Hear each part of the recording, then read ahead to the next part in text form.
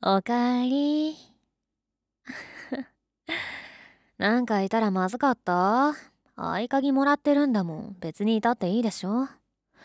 それとも、家に帰って愛しい彼女さんがいたのに嫌だったっていうの？そう。ならいいけど。てか遅くない？結構待ったんですけど。ん？なんでバレたの？そう、お酒飲んでた。うーんとね、うーん、2時間くらい前からかな。一人で飲んでた。ねえ、仕事だったの？いいから、仕事だったのって聞いてるの？うーん。嘘ついてない？本当に？うん。あなたの同僚さんとスーパーで会ったんだけど、さっき。そしたらさ、今日はみんな定時で上がったっていうの。その子は、彼氏さんとご飯食べるために買い物行ってたんだって。帰って美味しいご飯作ってあげるんだって嬉しそうだったの。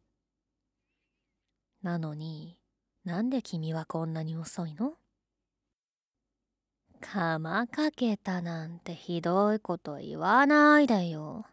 そもそも隠し事をしたのはどっち？悪いのはどっちなの？それに、別に怒ってないじゃん私。どうしてって聞いてるだけ。ねえ、どうして遅くなったの？うん。飲み会だったんだ。どこ行ったの？隠したってことはきっと女の子もいたんだよね。もしかしてキャバクラ？隠し事下手くそなんだから。キャバクラなんでしょ？うん、よろしい。うーん、キャバクラ行ってたんだ。ん？怖い？何が？あ は声を荒げるわけでもなく怒ってるわけでもなく淡々と君に話を聞いてるのが怖い？ってこと？なんでだと思いますか？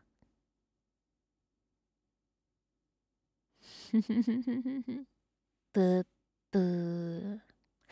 お酒飲んでて機嫌がいいからじゃあありません。そのキャバクラね。あたしの友達が働いてるの。あんたの彼氏遊びに来てるよって連絡くれたの。もし浮気するようなら証拠残しといてあげるって言われてその席に着いたらしいの。青いドレス着た金髪ショートカットの子。いなかった？ああそうそうその子。その子がそう結構ベタベタしたんだって？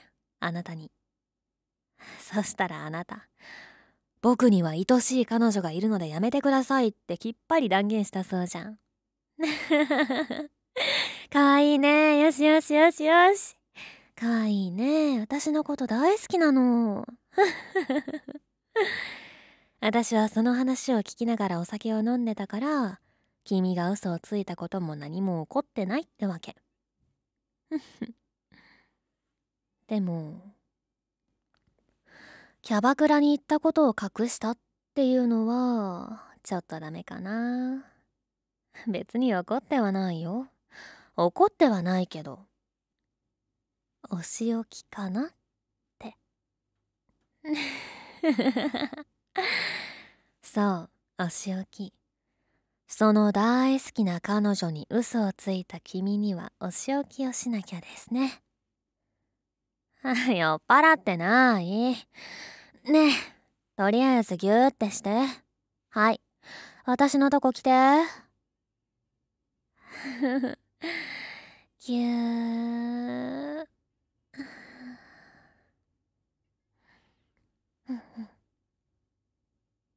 ぱりちょっと女の匂いする。やっぱ牛医今すぐお風呂入ってきて。早く。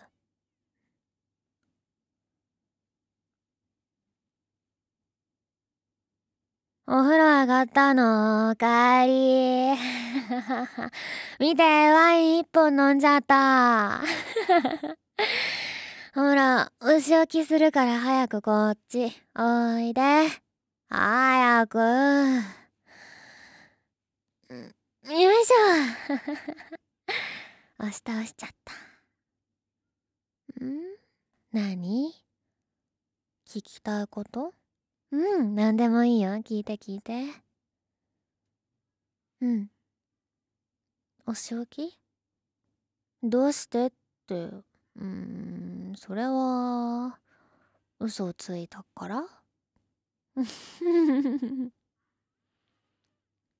あ、バレちゃった？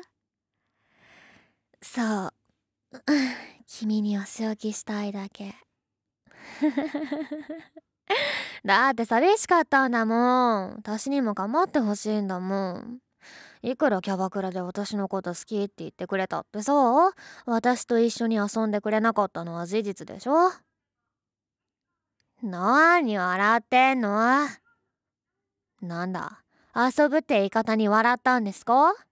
大人にもなって遊んでくれない構ってくれないっていうのでぐずぐず言ってる私を笑ってるんですか？ああ、もうこれはお仕置き確定ですね。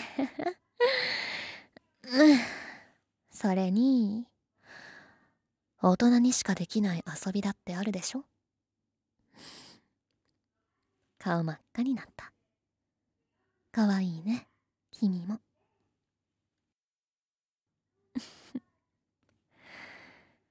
最初にお仕置きだねって言った時から思ってたけど君私にお仕置きされるの嫌じゃないでしょう。むしろちょっと期待してた。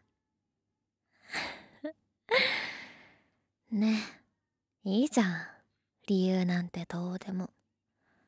お仕置きしたい私とお仕置きされたい君 じゃあやることは一つだよね。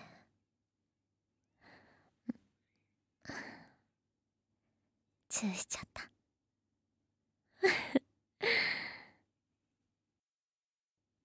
ねえ。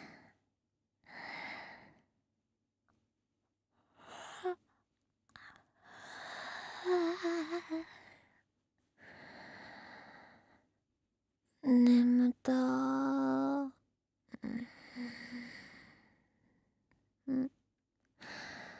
無理起きてられないうんねえぎゅうして。